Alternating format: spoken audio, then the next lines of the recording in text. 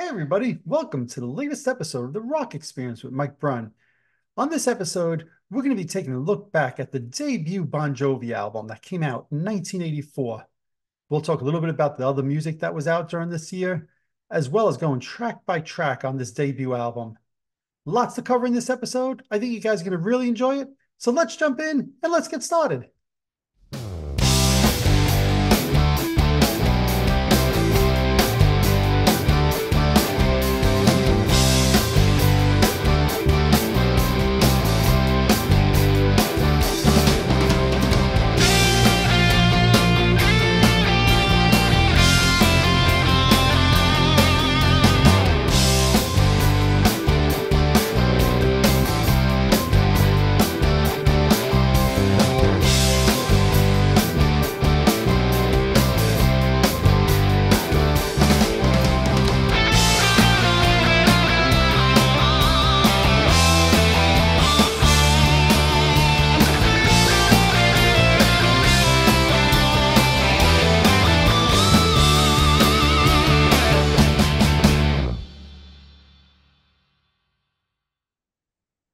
Everybody, welcome to the latest episode of the Rock Experience with Mike Brunn. Today I have with me Vincent LaRussa. How you doing, buddy? Hello, hello, hello. you like that? There was no introduction this time. Yeah, no, yeah, my buddy. yeah, Uh. Straight to the point. Vincent LaRussa. yeah. Don't don't be confused that I got three colors, even though they're all dark, black, light gray, and gray, and gray. this this is a my world premiere on the show. Yes, this is a world premiere that you're in more than just black. Yeah. Well, the shades of black, right? Isn't a gray a shade That's of black? true. So That is very true. Yes, Yes. indeed. Well, Yeah. you know, we've been doing, as we usually do, a lot of Kiss episodes. And I texted you a few weeks ago. I'm like, you know what? April is going to be a lot of Bon Jovi news. They've got this uh, documentary coming out. Thank you. Good night. Oh, there you go. Look at that. As you peel out the Bon Jovi album. And I was like, I think it'll be good if we do a couple of Bon Jovi episodes here. Maybe give a give a look back of the debut album. Maybe do another one or two as well during the month. And uh, there you have the debut album in hand right with now. the with the with the uh, with the what With- they with the hype sticker. stick. That's it. Look, yeah, you know, our music world it says three ninety nine, And, and what's usually they would date it when when when did you purchase it. four eighty eight. All right, April of oh look at that. April And actually, 88. actually, actually, if you look at it, um, it has a, a sticker over a sticker. So that was either my doing uh-huh. right. or they actually reduce the price. right, right. So Wink, now wink, wink. Right, right. So let, let me ask you this then. Uh, so this is a good way to start. Um, when do you remember first becoming a Bon Jovi fan? All right, obviously you got that album in 88, but do you remember when you first became a fan of Bon Jovi? Um, definitely with the Slippery When Wet album, Hmm. uh, for sure. I mean, you could not listen to music and and not know Bon Jovi. In uh, I remember it was in high school. So here's the interesting thing when I really thought about all this. So Yeah. Slippery When Wet came out in '86, correct? Right. Correct. Mhm. Yep. Uh, this this album, the first album came out in '84, Yep. which for some reason I thought it was '83, but then when I looked today, it was Well, '84. it's like January of 84. So right. yeah, right at the start of the year. And then 7800 Fahrenheit was 85, correct? right. Yep. So I remember being in high school and somebody asked me, and it was just when I was really starting to play drums. We had been playing, but I think, I don't know if we were still playing together at that time. And it was definitely probably I was a sophomore, which makes sense because I was 86 ish. And um, they asked me to learn all these Bon Jovi songs Hmm. other than, you know, uh, you know, uh, You Give Love a Bad Name. Mhm. Because remember, we that was in our in our cover band or our first band. right. We- Image. Right. Played it. We played it. yes. And then So- yes, that use that very loosely, that word played. Right. And and I remember that I think that might have been when I was exposed to 7800 and the first album. I mean, obviously I I had known Runaway, just casual listening, you know, I had known that song.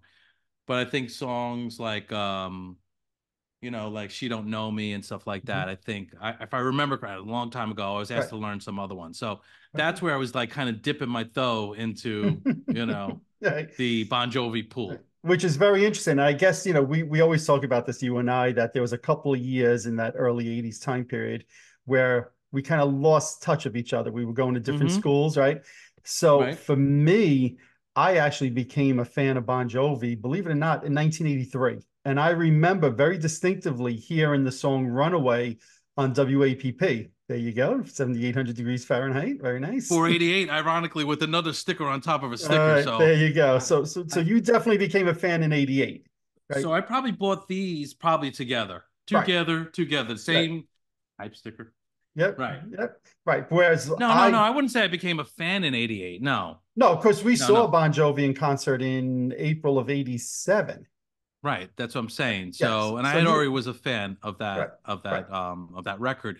But as you know, back then, until I was actually be able to make more than you know fourteen dollars a week, right. I wasn't really. I was listening to your records. I would go over right. your house, and and you had all these records. And that is exactly oh, my point. Is that I got that first Bon Jovi album in the summer of '84, actually. Mm-hmm. Right, because I knew Runaway because they played it on the local radio station WAPP. Right, uh, all right, we don't need every Bon Jovi album coming out. Focus.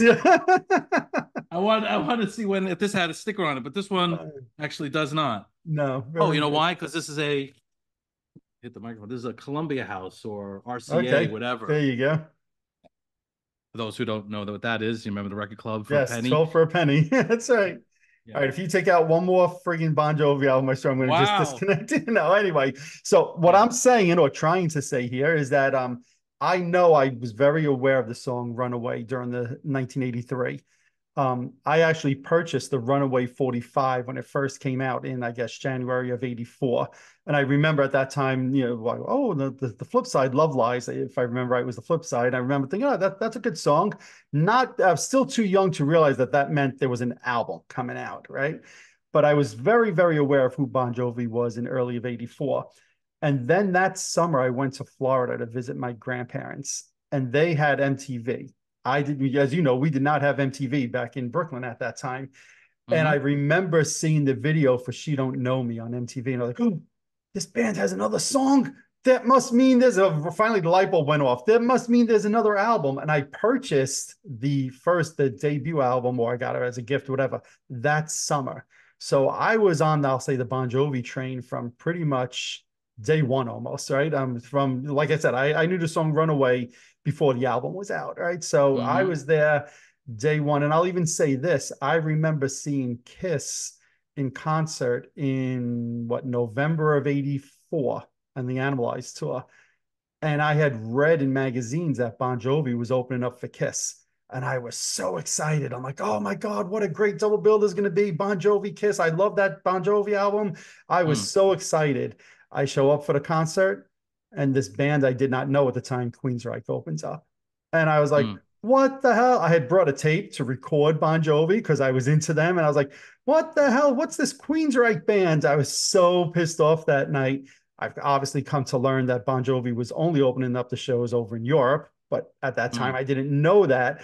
Um, but my point being, that entire first album cycle, I was a Bon Jovi fan, right? So you know, for me, as as we talk about this album, it'll be interesting to see because I, you know, for me, I was there loving that album from day one. You came in maybe a year or two later. You know, certainly, you know, around that slippery when wet time period, you were certainly a Bon Jovi fan. But um, it'll be interesting to see as we talk about these records and, and kind of reminisce about these songs a little bit where we both stand. But mm-hmm. before we do that, I always like to kind of give a little taste of what it was like in the time period when these albums came out when we're doing a look back, right?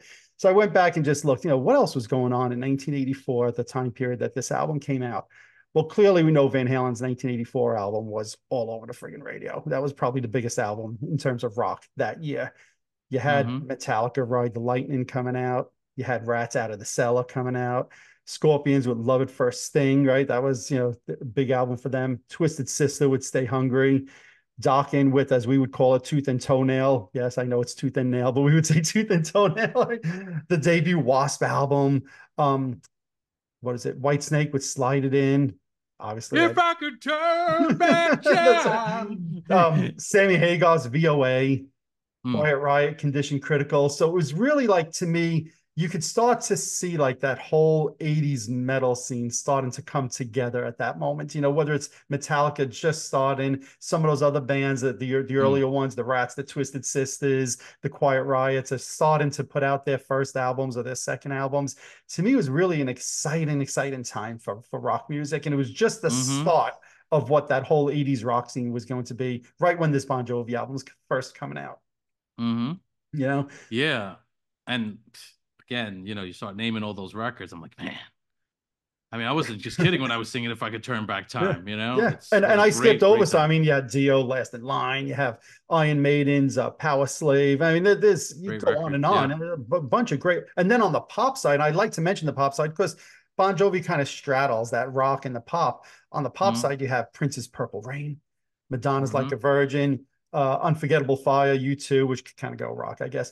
Born in the USA is probably one of the biggest albums of the year, right? Again, that's like a Mhm. rock, and it certainly had crossover appeal. But there's a lot of rock music, both in the hard rock, heavy metal, hair metal, whatever you want to call it, side, and and then pop radio is. I mean, there's just a lot of great music coming out at this time. Mm-hmm. Absolutely.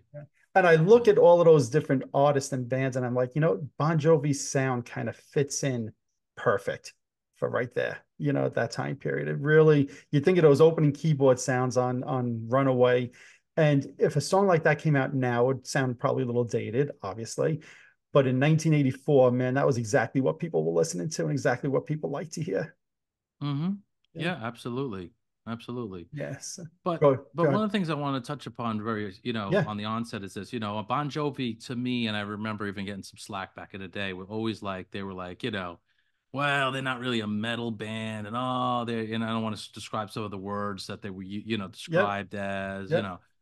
Um, so you know, I, it was interesting listening to this record and then reevaluating some of those Hmm. comments I used to hear, you know. Yeah. So, to because I guess what you just said, some of it, a lot of it is aligned with a lot of the other stuff. Yeah. Yeah, there's some more poppier stuff like "She Don't Know Me" and stuff like that, Yeah. you know. But um, but there are some other tunes on here that kind of fit alongside a lot of those other records that you I that you mentioned. I Maybe agree. not a Dio record or maybe not Metallica, but you know. some but that's why I give like the whole breadth of albums that are coming out because it to me, and you said it perfect, it fits in with those other albums, whether it's Mhm. Condition Critical, Out of the Mhm. Cellar. I mean, it fits in with that type of stuff to me. Yes, Mhm. Bon Jovi had a little bit more keyboards, but you certainly are not going to mistake in the Bon Jovi album and those other albums of coming out in 1994, let's just say. You know, they Mhm. all of, of that time period. And Bon Jovi to me fit in perfect. But that's also why I mentioned some of the pop Well- albums because they really straddled both sides to me. And the bottom line is, do you really want every band to be a Motley Crue, a Dokken, or this and that? Is like have the individuality of, of every band. It's actually good because it caters to different audiences. I wouldn't Yes. want every record to sound like a Dio record or Metallica record or No. Def Leppard or whoever, you know. Agreed. So fully agree. Yeah. So, so to me, again, I always look back in this time as an exciting time of music, and this was right around the time when I was really starting to get into music. You know, I always say Mhm. this. Obviously, Kiss was my first band. Ozzy Mhm. was my second. Because I went to see Ozzy, I saw Motley Crue open up for them. So Motley Crue was my third. And then right around this time period, because I saw Ozzy in January of 84. And I always say Motley Crue is my third band. And and Bon Jovi must have been like my fourth or fifth band that I started to really listen to as a kid, where I said, Hey, Mm. I like this band. Right. So for me, Bon Jovi is always rooted in those like early days of my music fandom. Mm-hmm. Yep. So saying that, do we want to take a look back at this album, kind of go track by track and give our ratings and thoughts and comments on it? Absolutely. So, like I'll just say for people who maybe haven't seen these episodes in the past, we rate on a scale of zero to 10. I don't think any of us, uh, either of us, has ever given a zero. Would be curious if one day we do, but a 10 is perfection. Think of the best Mhm. song you've ever heard in your life. That is a 10. We always say anything like a seven or greater, you start to get into really good songs, the upper echelon as you get a little bit higher. Five is average. So there's nothing Mhm. wrong with a five rating. Five is in the middle. There's a lot that's better, there's a lot that's worse. So we keep that in mind because I think a lot of people have a tendency to say everything's a nine or a 10. And that's not what we are, I'm quite sure, about to do, right? I don't think every song on this album we're both going to say is a nine or a 10. Well, and the other thing I wanted to mention was, and when I thought about this, because normally we do rate Kiss records, Yeah. is that if I give a Deuce a 10 and I give something on this album a 10, that doesn't mean they're equals. This okay. is in the this is in the scope of this album. right. Okay, that's so my ratings and my scores. I'm not comparing it to anybody. So if if somebody were to say, well, how could you give this song a you know an eight or nine and give the Mhm. you know no, I- I'm that's when the, and then the rating of this album from one to ten, not comparing go. it to you know a Beatles record. Okay, right, so, right, right, right, exactly. Right. So I'll, why and, don't and I and I'll say right off the back, there's no yesterdays on this record. So there's no yesterdays on this record. I, as yeah. much as I personally like Bon Jovi better than the Beatles, that's not to say yeah. Bon Jovi is better. I know they're not. Right. Okay, but I agree. There's no yesterday yeah, on this. you know, right, so, yeah. so, I would agree with that. So, yeah. and then you could probably listen to another 30 or 40 Beatles songs and say this one, there's no Bon Jovi yes. song equal to that right. either. But um, and that comes from somebody who's a Bon Jovi fan. But mm-hmm. all right, I'm going to let you start first. Runaway, the mm. first song. yeah. So, I mean, for that, as I just said, for this record, is an absolute 10 for me. I mean, this record, this song I've covered it many times, never get tired of it. It's it's you know, to me it's like absolute perfection of of you know, your rock pop song. It's got all the elements. Great chorus, fantastic guitar solo. I mean, not, I know Richie didn't play on this one. Mm-hmm. Um, Mr. Tim Pierce did. Mm-hmm. And um, just what a great song, you know, just and I think if I remember correctly, uh, members of was the E Street Band or some played on this record. I don't know. I, I just know I, that I, there's nobody that from the actual Bon Jovi band that's on this song. Yeah, yeah. Um, and it goes yeah, back to so, what I was saying, how I knew this song before there was. Yeah, Roy Bittan or okay. whatever. He's. Mm-hmm. I think mm-hmm. he was the keyboard player with Springsteen. Okay. Um, or maybe it's just one. So you know. Right. But anyways, good. No, that's, so that's I mean, my... look, it was some of the success that this song was having outside of there being an album and getting some radio airplay in New York and New Jersey that led to Jon forming the band, which is why there's none of these guys. You know, there's no mm. Dave, there's no Richie, there's no Alec, or not that he was on all their songs anyway. There's no Tico, right? So um, mm-hmm. that's why there's all different musicians because this really is a song that Jon recorded prior to there being a band. Mm-hmm. So, all right. So you're giving it a solid 10. Mm-hmm. I'm going to go with a, a, little bit lower than that. Um, I, I, gave it a nine, obviously, still a very high rating. There's something that was always a little off to me on this that didn't make it perfect. And I can't tell you what it is. I hated the fade out at the end of the song always, which is why I love that they did. I, I sent it to you, a, uh, what, a month or two ago, where mm-hmm. um they it was like the extended guitar solo ending that they just mm-hmm. recently released. There's something mm-hmm. about the fade out on this really always annoyed me. It just seemed like it happened so abrupt, like the song just ended all of a sudden. Mm-hmm. Um, mm-hmm. and it's I've always thought it was a great probably song for but, radio airplay, probably for yeah, radio probably. airplay. Probably, but there's something that always just I felt like this was really, really good, but there was always, even from day one, something missing from, from me calling it quote unquote perfection.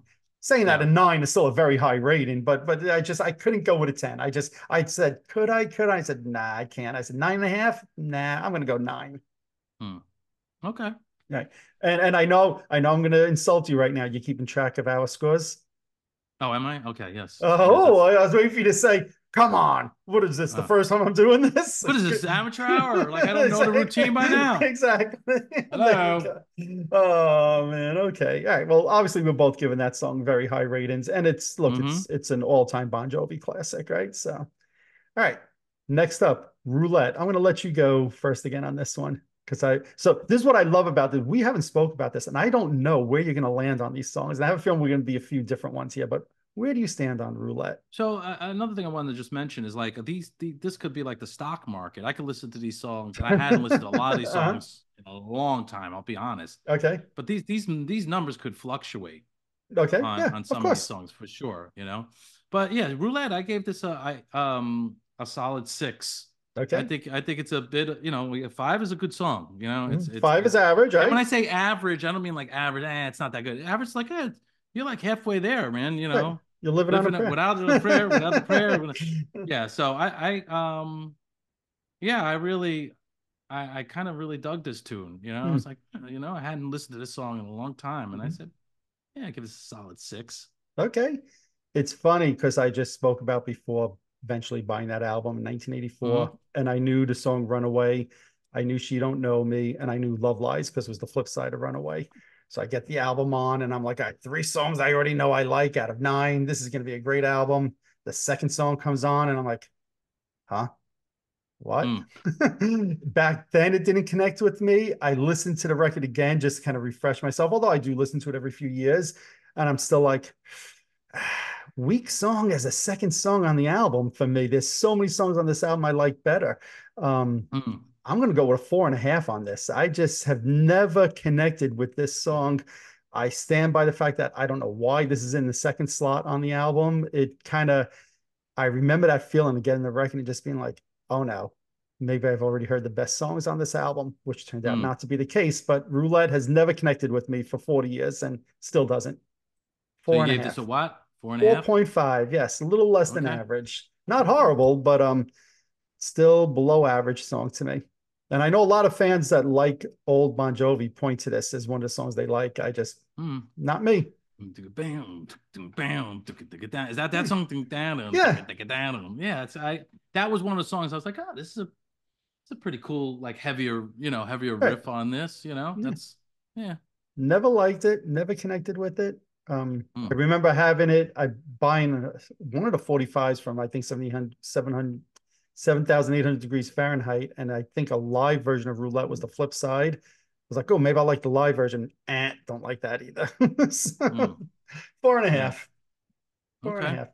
All right. Next up, the second song I, I knew from the record that I saw the video on MTV, She Don't Know Me. You know, before we give our ratings and talk about this, I'm sure you realize this at this point, but many fans didn't know this. You you realize that this is a cover tune, right?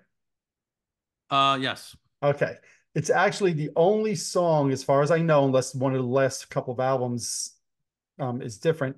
It's the only song in the entire Bon Jovi catalog not written by Jon and or Richie.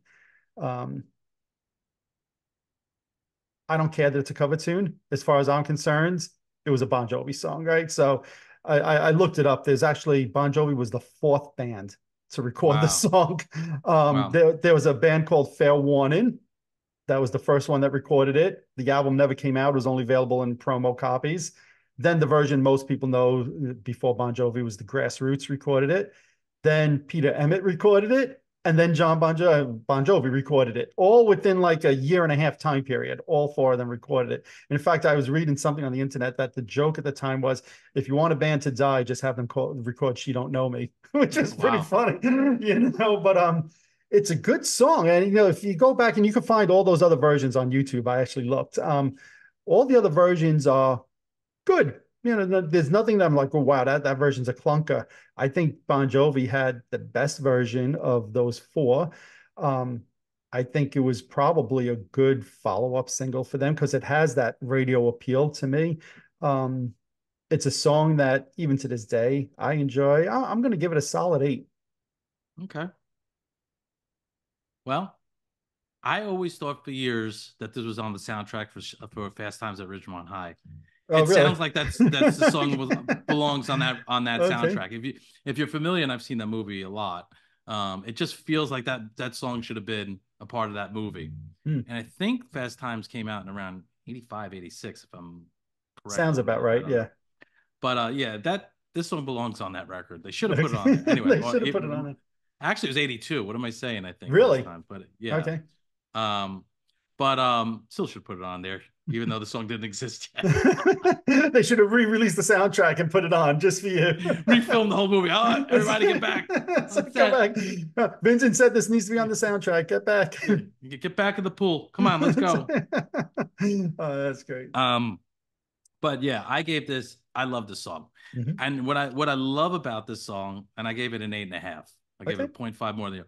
I love the chorus where like Jon says a line and the and the, and you got the vocal, you yep. know, the harmonies going. Mm-hmm. I always love that, you know, that gotta tell, got to tell, da, da, uh-huh. da, I just always love that songwriting style. I just thought it was really, really cool. And and I know, and I'm surprised you haven't mentioned it yet, that I, I think I said more recently that Bon Jovi was one of my, you know, top I was going to mention it after we got through yeah. the nine songs, but yes, go oh, ahead. Okay, no, no, okay. mention so, it now. Go ahead. No, so so um there are certain things that I when I listened to this record, I was like, oh shit, I stole that. I, I, that. I didn't realize it. Oh, but mm-hmm. um yeah, no, I, I love this song. I I I I just think it's a you know, I, I was like, you know, this is like a perfect pop song in some ways. Maybe not 10 when I say perfect, but Mhm.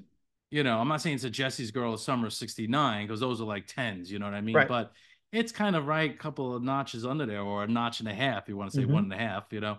I, I just think this could have been a, a big hit. uh, Yeah. if maybe if Bon Jovi was more known or the Bon Jovi of 86, Right. you know? Well, you know, to me, the funny thing is you're mentioning how Bon Jovi impacted your songwriting and all of that, and how you've stole certain things from his songwriting style. you know what I mean? Well, that's what all songwriters Borrow, do. borrow, Borrow. It's, it's borrow. what, it's what all songwriters do, right? But Mhm. I want to just make sure that when you're putting together your next bio, that you say influences Beatles, this one, that one, and that you put in there Mark Avsec. Okay, Yeah, so, yeah. since, since he's obviously the songwriter of the Yeah, song, so yeah. your next bio, I want to make sure I see that in there. Okay, All right, you got it. and I think people will be like, who? what the yeah, hell? So- exactly. But um, it's it's still to me it's a great Bon Jovi song, even though it is a cover. It's it, it's a Bon Jovi song in my mind, and I, I bet you if you ask Mm-hmm. ninety nine point nine percent of the people in the planet that know the song, they're going to say it's a Bon Jovi song. right. They, they don't Mhm. see it as a cover. So, all right, next up on the album, then, "Shot Through the Heart." So I'll go first on this one. Go no, you want to say something? No, no, no, no, no. Go ahead. No, Oh, no. you know, this is a song again, you know, having, you know, bought the album pretty much when it first came out. I always loved from day one. I can't hear this song and the title of this song Hmm. without remembering the first time I heard this song two years later, You Give Love a Bad Name. And the song You Give Love a Bad Name started Shot Through the Heart. And I'm like, wait a second, they already have a song called Shot Through the Heart. What did he do? They Right. wrote another song called Shot Through the Heart. Um, it was just, it was such a confusing moment for me as a Bon Jovi fan. The first time I heard You Give Love a Bad Name, dare I say, I actually like this better than You Give Love a Bad Name. okay. I like the original Shot Through the Heart more than the second Shot Through the Heart. okay. Mm. And yes, I know it's not the real title the second one. Yeah. Um, this is a song I've always loved. To me, it's one of the best ones on the album. I contemplated actually giving it a higher rating than Runaway, and I'm like, mm, Runaway's such a classic. So I, I went with an 8.7 on this one, um, Wow. just a touch lower. It's still, even when I re listened to the record again, I'm like, man, what a great friggin' song. Um, 8.7, and I stand by that. I think just a great friggin' song. Well, I mean, I think it's above average. I gave it a 5.8. Again, this is part of the stock market Mm. Yeah. songs. Yeah. I no, but I, that's this- what I love is that because when we do Kiss ones, you and I, we know Mm. we're almost always in sync. I had a Mhm. feeling we were going to be a little disconnected on Yeah. some of these, and that's good. And I, and I think you have a more intimate listenership with some of these songs than I had. You know, Yes. I listened to this album and these songs probably three times for this for this episode. This is why I didn't give it one listen. I said, let me give it three listens. Mhm. My lucky number. Mhm. We have three listens. But you know, again, I was like, okay, first, sol- oh, great songs. Oh, solid song. Oh, great. So- I'm like, oh, I was like, all right, I'm enjoying this record right away. I'm like, wow. It kind of took me back, but also made me realize that this is a pretty, so far, damn good debut album. Yes. You know? Yep. Yep. Okay. A lot of deep cuts, if you will, on the record, because Mhm. you know it's not like these Mhm. songs were performed all through the 80s Mhm. and 90s in concert. But um, hmm yeah, it's solid, a solid album. But um, all right, I'm standing Mhm. by my 8.7. What did you say yours was a five what? 5.8. 5.8. All right, it's still above average. So we both think it's a it's a good song. Um, all right, next up, Love Lies. You want to go first? Yeah. Yeah, this this to me was the the the weakest song on the record for me. Um, not a bad song. I gave it a five point two. I gave it a little bit, but when I say the weakest song and I'm giving it a five point two, that's Right. still a pretty damn That's good, good. song. I mean, it's obviously the softest song, ballad-ish, if you want to Yep. call it, but it's not really a ballad. It kind of sad. It's more like a, a salad, you know. You know, Salad. you know. like a mid-tempo type thing. Yeah, good chorus, whatever. But I was like, all right, you know, this is good. Mhm. But at this point, it was like the weakest song for me, but Right. still solid tune. Okay. Well, like I said before, this was actually the second song I knew off of the album because it was the flip side of Runaway. Um, I always liked it as the B side of the song. You know, I always enjoyed it. It was part of what one of the, I guess, the three songs that made me a Bon Jovi fan. That being Runaway, Love Lies, and She Don't Know Me. Those are the three songs that made me a Bon Jovi fan. I've always liked this one. Um, to me, it is far from the worst song on the album. There's a few that are worse than this one. I went with a six and a half. Okay. All right. All right, let's flip the record over to the second side.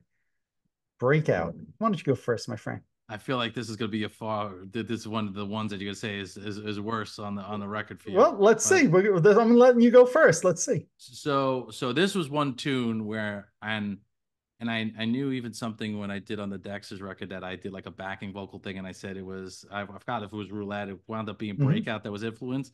But when I listened to breakout, I literally back in the day uh, there was a song I did. It was called All That I Need and there was a backing vocal that went ooh, ooh, ooh, ooh and then when I heard this, I was like, ooh, I was like, man, did I just totally?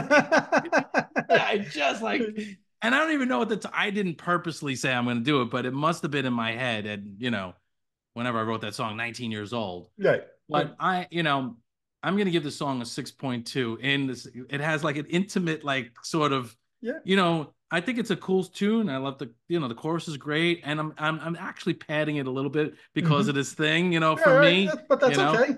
But sometimes yeah, that's so what music is. You connect with things. It brings you yeah. back to a certain thing in your childhood, and that's what music's all about to me. So there's nothing wrong with padding it for that reason. Yeah, yeah. So I'm giving this a six point two. Okay. Well, you're you're somewhat right. I agree that this, with your comment before, that this is definitely one of the songs that's worse than Love Lies on the record for yeah. me. Um, it's one of my bottom echelon songs on the record. Saying that it's not bad, and, and that whole whoa whoa whoa part that, that you were just singing, and I'm not going to try to sing it the way you do. Um, probably raises my rating a little bit because if that wasn't there, I think this would be below average song. To be honest mm-hmm. with you, um, I went with a 5.1 on this, just a tinge okay. above. I, I couldn't go five. I had to go 5.1. Um, it's kind of funny because I think back to like the bootlegs I had at that time. And, you know, again, songs like Shot Through the Heart and, and one or two others on the record were my favorites. Yet, always in concert, they were playing mm. Roulette, Breakout. Even when we saw them on the Slippery When Wet tour, Breakout was one of the holdovers from this. And I remember, if you remember, we were so disappointed that they didn't do um, Only Lonely from the Fahrenheit mm. album yet they did break out right? So this is a song that obviously in the early days they really liked and connected with. Um mm-hmm. for me it was just always just a very average song. I don't know 5.1 mm. okay. Right so next up then burning for love. I'll go first on this one. This is another one like shot through the heart that i always loved. One of my favorites on the album. I, I guess something about those a little bit more like up tempo type songs which is to me both shot through the heart and burning for love is a little bit more up to I don't know how many beats per minute if you want to get into that kind of discussion, but you know it's a little bit more up tempo than a breakout or a roulette, and, and that's really what I like. This was always I could say probably my favorite song on the record, even though I'm mm. not going to rate it as high as Runaway, um, mm. simply because Runaway is an all time classic. But um, Burning for Love, I always loved. I'm going to go with an 8.6 on this one. Nice. Okay. Yeah. Well, I I, I like the song a lot too. I'm not oh, going okay. nearly as high as that. Mm-hmm. Um, I gave it a six and a half um, okay. for this rating. Again, this could be a song that I could probably go to a seven. Be quite honest. Yep. You know, I love the do do do do do do like I love the intro. You know, melody. Then it's got the boo that little bass thing in there. You know. You've been um, mistreated. yeah. yeah. Um, no, I I think this is, and I love the four on the floor feel and the choruses. Mm-hmm you know, the more I talk about it, the more I could push it to a seven. You know, um, I, I, I, you know, I, she don't know me. I gave it really high. I gave it like an eight and a half, and now I'm thinking about this. I am actually going to change this to a seven. All right. Well, well, let me think about this. Hmm. Hmm. Yeah, I'm going to change it to a seven point one. Ooh, a seven point one. Yes. yes. Uh, it's that. a great song. It's a it great. Is. This is another song that I think could have been a big hit. You know, if it wasn't yes. Bon Jovi, unknown band, basically um I, I, think it's a you know it's a re- very well written pop tune yes you know if i was going to a lot of fans wish that bon jovi would do some stuff from the first two albums hmm. besides mm. runaway mm-hmm. this might very well be the song if they put into a fan vote this might be the song i would choose from the first two albums either this or maybe silent yeah. night from from the second album um but i i just love this song and I remember you loving it from back in the day too. Yeah, I actually do remember. Like, I, yep. I, it's funny when I see certain songs. I remember the songs that used to get really throwed about. Yes, and, yep, and this uh-huh. one I was like, it was a throwing for him. Yes, I remember. This, this yeah. was a throwing for me, absolutely. So, all right, come back. Why don't you go first, my friend? I think there's another great song. This is mm-hmm. this is and and uh, and and that's I actually have the song as a seven. That's why I said "Burning for Love" is seven point one because I, said that, "Leave a little, little notch, you know. Uh-huh. I just I love the you know come back, back, back, Mhm. back, back, back, and the like the way the guitar follows the chorus and Yep. and again I think there's a it's got great hook in the chorus. I mean this that's the thing about this record when I realize it's got like so many good hooks. It's not like there's there's no as you would say boring cold gin song. Even though I'm not saying cold gin is boring. There's no real boring songs on this record. I was like, and we're we're at the eighth maybe song maybe right now. roulette. Maybe roulette for me. Roulette Well, is this you- album's cold gin. Yeah, a few, but Mhm. I I still think I still think I mean it never resonated for you and it's Right. not going to probably ever. I still think it's a, a pretty solid chorus, you know.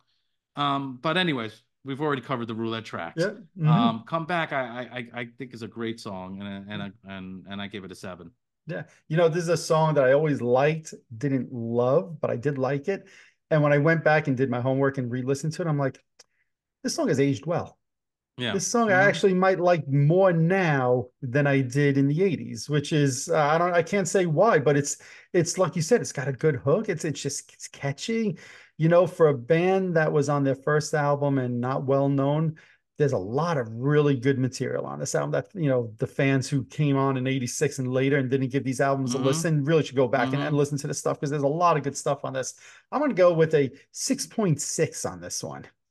6.6 the number, the that's number not of the come beast. back. I said the number that's not the number the that's number not, the beast. That's right.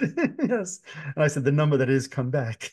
Yeah. So Yeah, Yeah. I love the ending. Come back, bring your love and back, back to back to me. Come back. Yeah. I just think that that whole that whole outro is really cool too. agreed. And you know, again, thinking back to a lot of the bootlegs I have, I think for whatever reason, this is a song I don't recall them doing many times in concert. Hmm. Um, the other songs on the record, I, I I know I have you know live versions. This one, and I could be wrong. Somebody could correct me. Oh, in Chicago in 1984 they did it, but I don't Hmm. recall this being a concert staple at that time, which is a shame because it's a it's a really good song to me. Yeah, absolutely. All right, and that now we get to the final track on the record. Come on, come on. Get ready. Do Ready, you want- get Why don't you go first, my friend? So this was a song when I first heard it. Uh, uh, you know, I hadn't really remembered it, quite honest. Okay. You know, and when I heard it the first time, listening, I was like, oh. Then I heard it the second time, I was like, hmm. Then the third time, I was like, oh, you know. So, so it actually. and, went and next in the- week in you're my- going to be covering it in your band. It sounds like exactly. Yeah, I'll be ripping it off on another song I write. There write. you go. Um, yeah, I like the song a lot. I, I think what I really like, and I had to actually check it because the guitar solo, I'm like, oh, Richie Sambora didn't play this one. Hmm. I felt like it was another guitar player.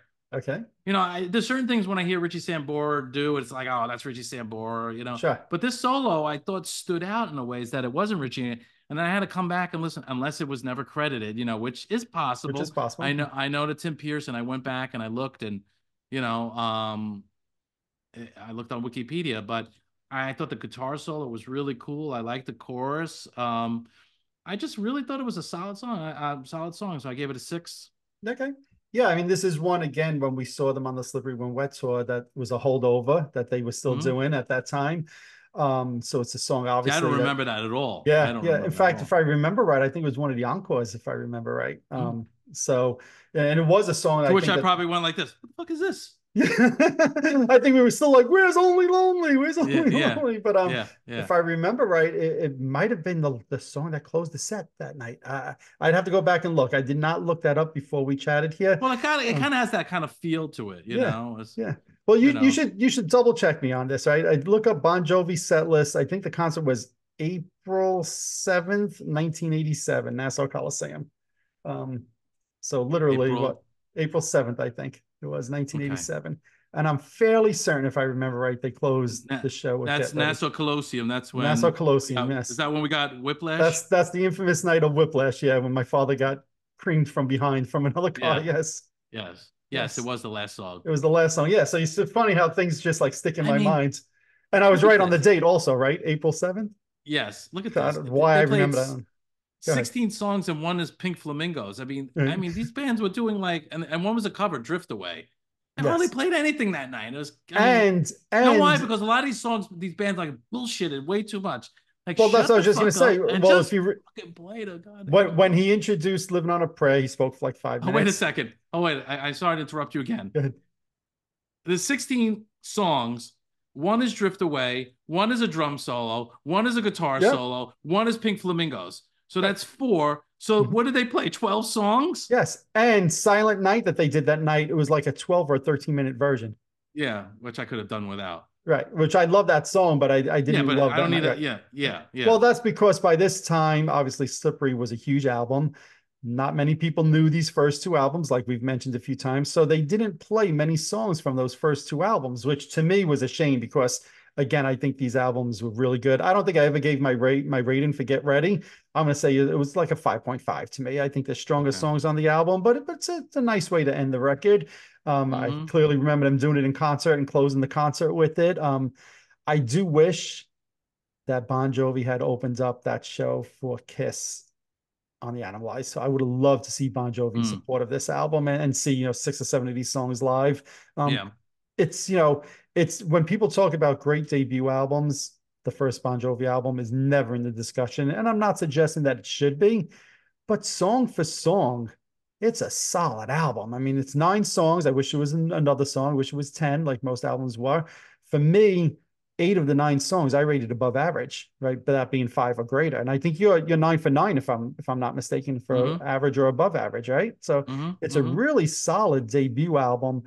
To me, you could see the start of how they were going to become who they were two years later, right? Mhm, The mhm. songwriting is there to me. So it's it's just a, a great album. So what was the overall? Do you have the average for me and the average for you? Yeah, my average is 61.8 and yours is 62.5. Well, so that's definitely not the average. That's the totals. Oh, I'm sorry. I, I'm Sorry, I average thought you meant rating with is the final 61. sorry. I but but you should that should be mentioned though. yes, yes, it should. So what was yours? Was you rated it slightly higher than me? Did I hit it right? I don't like I don't like your attitude, Brunn. That's well, you know. Yes, I was my average is 6.87 6.867, which is rounds off to 6.9 basically. Yeah, That's a, that's a high rating, yeah. And yours is 6.9444, which is 6.9. So basically basically it a 6.9 if you look at it that way. And think about when, when we started this, we said that uh, a good song is anything seven, you know, a really good song is anything seven or greater. So we're right on that cusp of saying that this is a song for song, a really good album, right? A seven Mhm. or greater. And um, I think that to me, those overall ratings make sense. And I kind of again think back to that time period in 1984 with with the Van Halen albums and the Rats and and Wasp and all of those. And um, maybe with the exception of Wasp and I guess Van Halen's 1984, this is the album I would go to before I would go to even Out of the Cellar, even Stay Hungry, which was a huge album. And I'm not saying that these are bad albums, but I personally would rather listen to the debut Bon Jovi album over Out of the Cellar. And I know probably most people when they watch this are going to say, "Oh, you're nuts! Out of the Cellar is a classic." That's just how much I really love this debut Bon Jovi album. Am I wrong? I mean, you could say I'm wrong and you disagree, but you know, Okay, so you co- out of the cellar or this record? Out of Cellar or this record? Yeah, Oh, this record. this record. This record or Stay Hungry? That's tough. You know, I, I kind of have a soft spot for that record for Okay. a couple of reasons. There's nothing uh, wrong with that. Yeah. I mean, you know, that's the presence of "I Want to Rock" and and "We're Not Gonna Take It" on on MTV. It was just Sure. And the price it's is an amazing song. I the think. price. Yeah, I mean, it's got and uh "Stay Hungry" is a great song. Yeah, that's a great it's a album. great. It's a, it's a great record. Maybe we'll It's have to a look back on that and see how overall ratings compare to Yeah, this. let's do that. Yeah, We'll have to do that. Yeah. Bon Jovi or Tooth and, and Nail? Which one? I got to listen to the Tooth and Nail record. Quite honestly, off the top of my head, I probably would pick this record. Me you know, too. without going back and listening. Debut How about Bon. this? I was gonna how ahead. about this record or around the same time, Shout at the Devil. I'd probably say Shout at the Devil. Yeah. Yeah, that was 83 Shout at the Devil, like you said, around Right. the same time. But I'd probably Yeah. go Shout at the Devil. I mean, that's just that's a mm-hmm. great record. I Yeah. was gonna say last comparison for us.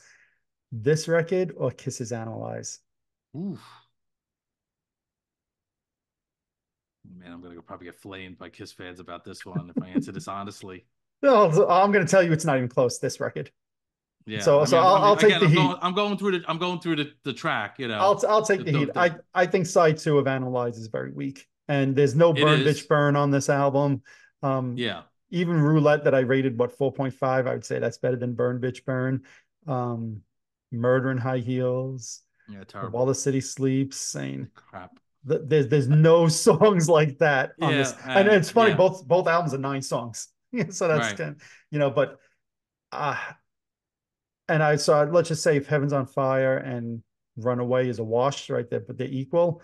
I think Yeah. there's more higher ranking songs on this, you know, Shot Through the Heart, Burning for Love, She Don't Know Me than I Well, find on the Kiss album. By far, this is a totally consistent record from Yes. top to bottom. And Exactly. obviously, you just named a couple of shit burgers. Exactly. Fucking animalized. So, you know, Exactly. And that and that's exactly my point. But yeah. I'll be curious to see the viewers, the listeners, what do they think of this record?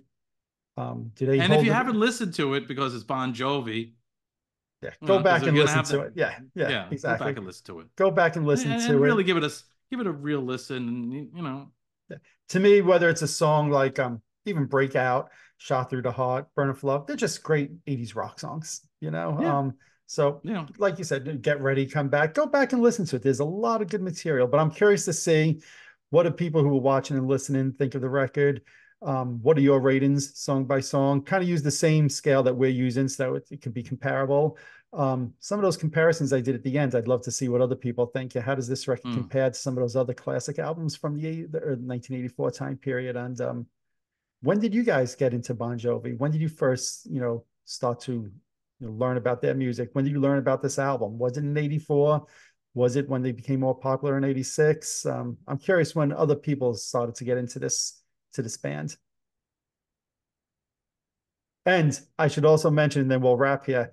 This record is also the only record that's not um, credited to David Bryan on keyboards. David Rashbaum. Yes, which I remember when he changed his name. I was like, all right, good. I can't pronounce that thing anyway. and Tico Torres, the, the hitman. Hitman. I remember that. As soon as he started saying it, I'm like, "The- I think it says the Hitman on it. Yeah, It does. yeah, yeah. And actually, Hugh McDonald was credited on this record. Oh, really? Yeah. Oh, that Huey I, McDonald. Huey. Yes. I mean, it's Well, obviously it's known fact that he's on the record, but I didn't realize he had a, an actual credit there. Yeah. Nice, deservingly so. Yeah. Management was at the time Doc McGhee. There you go. Amazing what that guy touched in the 80s. Everything turned to gold. Yeah. Yeah. All righty. Well, I think that's it on this one. I think we're going to be doing a couple of other Bon Jovi episodes. So hopefully everybody who's watching and listening to this enjoyed this. I think next time we'll do another record. And I think we're going to have to talk about that documentary once that's out. Um, I'm looking forward to that at the end of the month. And um, to me, April 2024 is the month of Bon Jovi. Cool. But here we spoke about January 1984, 40 years ago, the debut Bon Jovi album. We look forward to hearing your comments, your feedback, your thoughts. On that note, What are you bringing out today? double Ringo. I'll, I'll keep it simple for you. All right, everybody. Thanks for watching. Talk to you guys soon. All right. Talk to you soon. Alrighty, there you have it. We look forward to reading and hearing your thoughts and your comments on the Bon Jovi debut album. What songs are your favorites, and how do you think it compares to other albums that came out during that year? We look forward to hearing your thoughts. If you're watching this on YouTube, hit that subscribe button below. If you're listening to one of my podcasts, subscribe over there as well. Also, head on over to Facebook and follow my page, The Rock Experience with Mike Brunn, where each and every day we talk about all the rock and roll music that you love. You could also follow me on Instagram and Twitter as well. That's it for this episode. Thanks for watching. Thanks for listening. See you all next time.